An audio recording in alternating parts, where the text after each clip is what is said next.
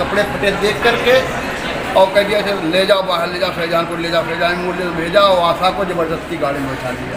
आशा तब से यहाँ कैद, एक तरीके कैद में रो रो कह रही, मुझे उतार दो, मुझे क्या मतलब लावारिस है?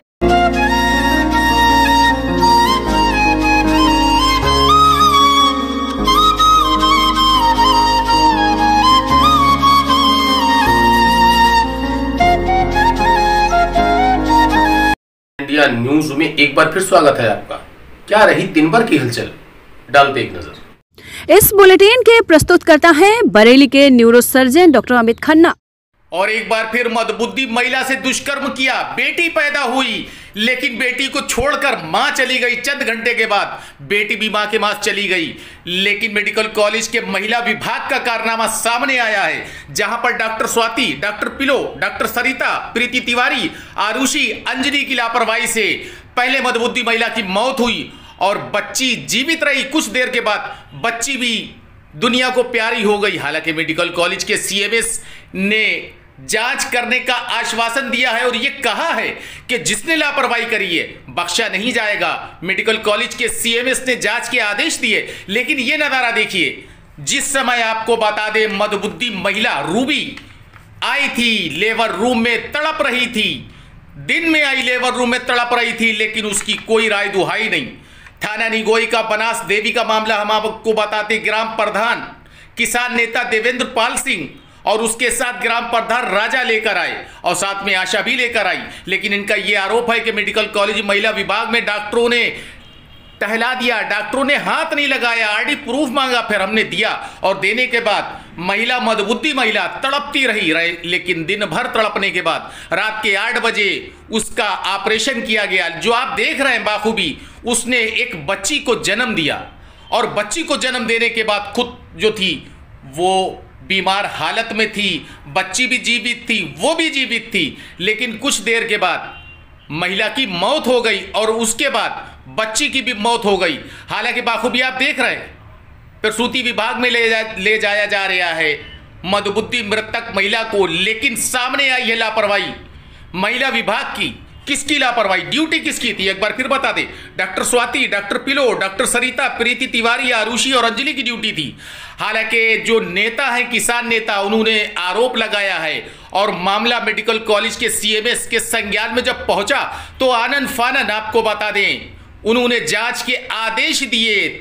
तीन लोगों की कमेटी बनाई है, जिसके अध्यक्ष वो खुद है। और उन्होंने ये कहा है कि जिनने लापरवाही करी है, ऐसे लोगों के लिए कोई भी जगह नहीं। मैं जाँच कर रहा हूँ हम आपको विस्तार से आगे दिखाएँगे, लेकिन आपको बता दें, सबसे बड़ा दोषी कौन है?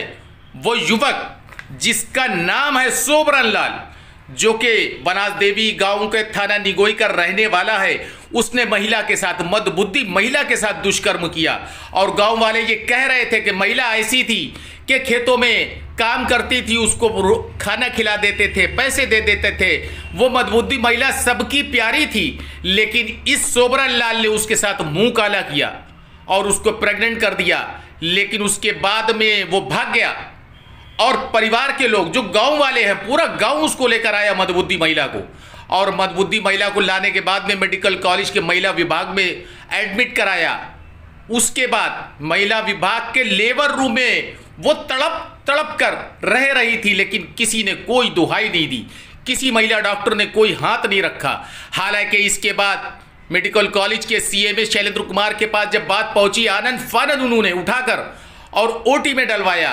लेकिन ओटी में जब उसका सीजर हुआ ऑपरेशन हुआ, उसके बाद महिला डॉक्टरों का यह कहना था, बच्ची मर गई, लेकिन उसके बाद में जब लाई जा रही थी तो बच्ची ज़िंदा थी।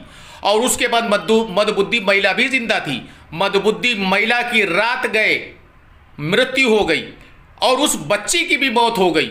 हालाँकि इस मामले में हम आपको सब कुछ दिखाएँगे, और इस मामले में सीएमएस का कड़ा रुख है। उनका यह कहना है कि जो लोग, जिनका कोई नहीं है और इलाज के लिए मेडिकल कॉलेज में आते हैं, उन पर ज़्यादा हमारा ध्यान दिया जाता है। और सबसे कहना है, लेकिन हमारी गैर मौजूदगी में इतना बड़ा काम हो गया, इतनी लापरवाही हो गई, जबकि मैंने ही इस महिला को भर्ती कराया था। हालाँकि सीएमएस का ये कहना है कि जाँच कर रहे हैं, स्टाफ में जो भी दोषी होगा, उसके खिलाफ कार्रवाई होगी। लेकिन सबसे पहले हम दिखाते हैं और आपको सुनवाते हैं कि जो लोग लेके आए, उनका क्या कहना था।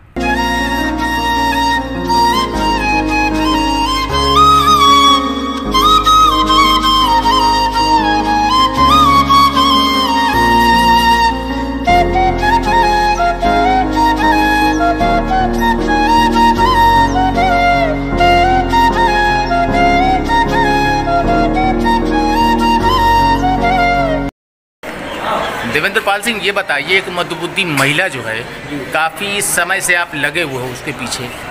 उसकी हेल्प करी तो मामला क्या था और क्या पैदा हुआ उसको? ये मामला भी है ये लावारिस हालत में सड़क के किनारे में हम लोगों को पड़ी मिली कहाँ? ये निगोई ब्लॉक के गाँव बना में। अच्छा। अच्छा तड़प रही थी पीला से। अच्छा। हम लोगों ने सौ नंबर को डाल गया सौ नंबर लेके इसको भेजा। तो सौ नंबर वालों का जब तक आशा नहीं कोई जाएगी या कोई महिला नहीं जाएगी साथ में तब तक नहीं देखेंगे। और मानवता के नाते तो आशा को हमने वहाँ बुला भी लिया था। पहले सड़क पे ही हमारे गाँव की बहू है, उसे बुलाया भी बेटा, तुम चलिए आओ, एक महिला है। आई मेरे कह रहे तो उन्हें उसी बैठा लिया। बोले, साथ चलो।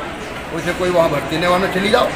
लेकिन ज़बरदस्ती वहाँ से निगोही से इसको किसी ने देखा नहीं, छुआ नहीं, उसके कपड़े फटे देख करके और कह दिया ले जाओ बाहर, ले जाओ शहजानपुर ले जाओ, शहजान बोले भेजा। और आशा को ज़बरदस्ती गाड़ी में बैठा दिया। आशा तब से यहाँ कैद एक तरीके कैद में रो रो कह रहे मुझे उतार दो मुझे क्या मतलब लावारिस है? कार्ड भेजा हमने। अच्छा आपने आधार कार्ड भेजा? जी आधार को व्हाट्सएप पे इनके गार्ड के द्वारा व्हाट्सएप किया वहाँ से तब इसको शायद भर्ती किया है। अभी एक घंटे अच्छा ये बताइए मधु ये कब से पड़ी रहती थी वहाँ? ये तो करीब हो गए पाँच साल से गाँव में है और कईयों गाँव में घूमती रहती दिन भर घूमती रहती हंसती रहती घूमती रहती पागल है मानसिक थोड़ा सा किसी ने दुष्कर्म कर दिया इसके साथ? किसी ने दुष्कर्म करा? नहीं जिसने किया वो भी मालूम है। अच्छा। वो एक बनादेवी गाँव है उसका एक लड़का है। वो उसके इसके साथ दुष्कर्म किया। इसको रखा भी कुछ दिन अपने घर में। वो भी थोड़ा है वैसे ही मन बुद्धि वो भी है डिस्टर्ब में हुई लेकिन इतना नहीं वो कमाता खाता है। और जब आज बच्चा होने को हुआ तो वो भाग गया पूरा अपना इसको और जब आज बच्चा होने को हुआ तो वो भाग गया पूरा अपना इसको और जब आज बच्चा होने को हुआ तो वो भाग गया पूरा अपना इसको वो भाग गया। उसको तो एक्शन लेंगे अब हम लोग गाँव वाले। के सरपरस्त आप ही लोग हो सब गाँव वाले। गाँव वाले पूरा गाँव बैठेगा पूरा गाँव आया इसके साथ में अस्पताल निगोई पूरा गाँव पीछे भटता हुआ आया था। पूरा गाँव जो तब तक डॉक्टर थे यहाँ रिपोर्ट सकुशल बच्ची भी है मदबुद्धि भी है सही हालत में आपने इतनी मेहनत करी अब डॉक्टर्स ने आपसे क्या कहा? डॉक्टर नहीं अब तो डॉक्टर इतना नम्रता से बोल रहे हैं। जब देखा तो तुरंत ही बोले आप क्यों ऐसा कर रहे हो हम तो खुद ही देख रहे हैं इसको रात भर देखेंगे अकेले हम ही हैं इसके हम पूरी दवा करेंगे। उसके बाद भी हमने अपना एक आदमी महिला छो बैठा दिया उसके पास है। कल दूसरी बैठा देंगे तो ऐसे एक एक करके एक दिन भेज देंगे मानवता नाते रोज़ाना गाँव से हमारी महिलाएँ आएगी एक एक और आपको बता दें कि रात साढ़े दस बजे तक ग्राम प्रधान के अलावा जितने भी लोग थे निगोई के, वो मौजूद थे, उनकी मौजूदगी में दोनों लोग ज़िंदा थे। मदबुद्धि महिला भी और बेटी भी, उनका ये कहना था। लेकिन उसके बाद जब वो घर चले गए, जाने के बाद उनके पास फ़ोन गया कि रात के तीन बजे मदबुद्धि महिला ने दम दे दिया और बच्चे ने भी कुछ देर जीने के बाद दम दे दिया। हालाँकि आपको बता दें, इस मामले में मदबुद्धि महिला के शव को लेकर पोस्टमार्टम के लिए भेजा गया। लेकिन इसी बीच मेडिकल कॉलेज के सीएमएस को पूरा मामला जब उनके संज्ञान में पहुँचा, आनंद फानन, उन्होंने तुरंत जाँच कमेटी गठित की और गठित करने के बाद तत्काल दे दिया आदेश। उनका यह कहना था, हम इसकी जाँच करेंगे और अगर लापरवाही है तो हम कार्रवाई करेंगे महिला विभाग के ऊपर। क्या कहा सीएमएस ने? क्या कहना था उनका? आइए हम आपको विस्तार से सुनवाते आई थी, आप लोगों ने कोशिश भी करी, लेकिन एक्सपायर होगी तो पूरा मामला क्या था, किस तरीके से? देखिए ये लगभग दोपहर में मुझे जो है एक जगोही सी के डॉक्टर साहब ने फ़ोन किया कि कोई अज्ञात महिला हुई है जिसकी थोड़ा सा मेंटल कंडीशन भी गड़बड़ लग रही है और पूरी तरह होश में नहीं है तो मैं आशाओं के साथ इसको भेज रहा हूँ। तो वो महिला मेरे अस्पताल में आई, आशाएँ आई। फिर उसमें हमारे डॉक्टरों ने जो है उसको डिलीवरी कराने की कोशिश किया, लेबर पेन में वो थी। मैंने कहा, यही डिलीवरी होगा, क्योंकि अज्ञात में कोई साथ नहीं होता। इसलिए मैंने उसकी कंसर्ट पे एज ए गार्जियन मैंने सिग्नेचर किए थे। और फिर शाम को ये हुआ कि नहीं डिलीवरी हो सकती है इसको ऑपरेशन करना पड़ेगा तो ब्लड की ज़रूरत है। तो उसको ब्लड भी मैंने अपने अस्पताल से व्यवस्था करके उसको ब्लड भी चढ़ाया गया।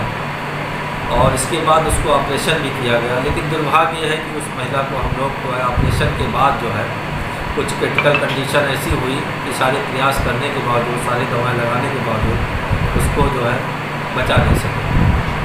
ये मुख्य जो है मामला अच्छा सर इसमें जाँच वगैरह का कोई आदेश पारित जी हाँ फिर भी मैंने इसमें जो है कि ऑपरेशन के बाद या ऑपरेशन दौरान कोई लापरवाही हुई है या नहीं हुई है इसके लिए एक जाँच समिति मैंने जो है सुबह ही गठित कर दिया है। और बेहोशी विभाग तथा महिला विभाग के एच को जो है उसमें तलब किया है और उनके डॉक्टरों को तलब किया और तीन सदस्यीय टीम बनाई गई है जाँच के लिए। तो उसको भी दो बजे के लिए मैंने उनको बुलाया सभी को। इसमें और चौबीस घंटे के अंदर अंदर रिपोर्ट देना क्या? देखते हैं उसमें क्या है। क्या बच्चा सही है? सर बच्चा कितनी कितने समय तक जीवित रहा? बच्चा ये है कि ये थोड़े समय तक बताया गया है लेकिन उसकी भी जो है बच्चों के डॉक्टर की देख रेख में भी उसकी मृत्यु हो।